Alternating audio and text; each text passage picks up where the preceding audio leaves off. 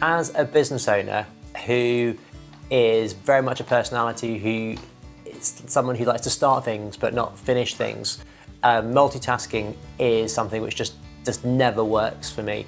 And but to be to be fair, it is something that never works for anybody because it's not possible to do multiple tasks and do them all well at the same time.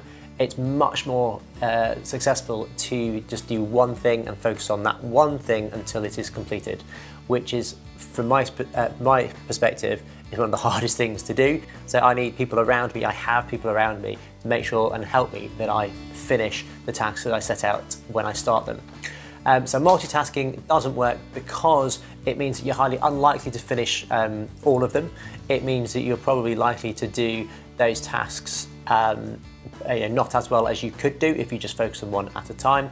But also, by multitasking, you might be thinking you're going to get more done um, in the long run than you would by doing one thing at a time.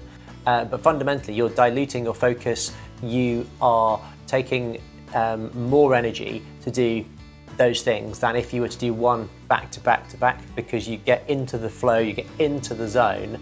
Um, so whereby if you're multitasking five things at once, it might take you ages to do all five. If you just say, I'm just going to focus on this one, um, you just get that one done, off the list, tick. Focus on the next one, get that one done, off the list, tick.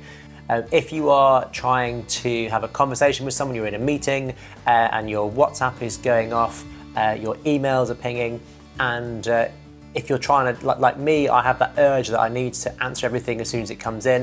Um, I find it hard to leave it because I just want to get, get it dealt with. Um, then it, it, just means you're not focused in any particular way. Whereas um, when you're doing something where you're really, really busy, um, where you have to put your phone to one side, then actually what you notice is you get a lot more done on what you're focusing on now, but it means that um, you can forget about your emails for you know, four hours, five hours. When you come to your emails, actually, you actually get through them a lot quicker as well.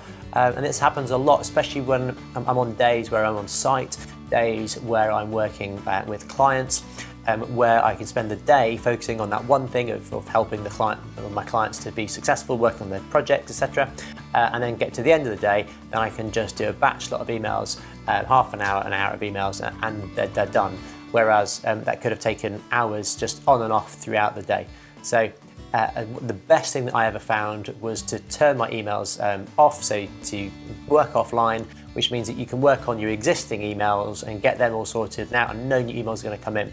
And then when you are ready to do your, your next batch, batch of emails, then you can just turn it back on. So those types of business hacks I absolutely love um, because they really help you to become focused and to get you know, a lot more stuff done um, in, your, in your day uh, with the limited time that we've all got.